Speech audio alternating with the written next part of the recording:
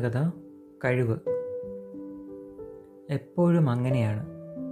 തന്റെ പുതു സമസ്യകളും ധ്യാനഗുരു നിഷ്പ്രയാസം തീർത്തു തരാറുണ്ട്. ചോദിച്ചതിന്റെ ഉത്തരം ക്ഷണനേരം കൊണ്ട് ഗുരു തരുന്നത് ആ സാധകന് അത്ഭുതം തോന്നാറുണ്ടായിരുന്നു. ധ്യാനസാധകൻ തന്റെ ഉള്ളിലെ അത്ഭുതത്തിന് ശമനം കിട്ടുവാൻ വേണ്ടി ഗുരുവിനോട് തന്നെ ചോദിച്ചു.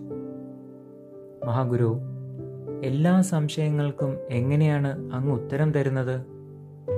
ധ്യാനഗുരുവിന് ഉത്തരം പറയാൻ ഒട്ടും പ്രയാസമേ ഉണ്ടായില്ല.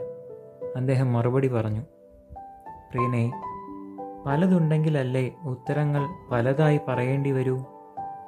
അതെ ആ സാധകൻ വീണ്ടും വീണ്ടും തിരിച്ചറിയുകയായിരുന്നു.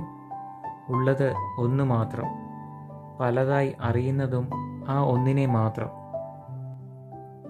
ഒരു തുള്ളി വെളിച്ചം. ഒന്നാവുമ്പോൾ ഒന്നിനെ അറിയും. ശ്വസനത്തിൽ തന്നെ ശ്രദ്ധിക്കൂ. ആനന്ദത്തിൽ തന്നെ ഇരിക്കൂ.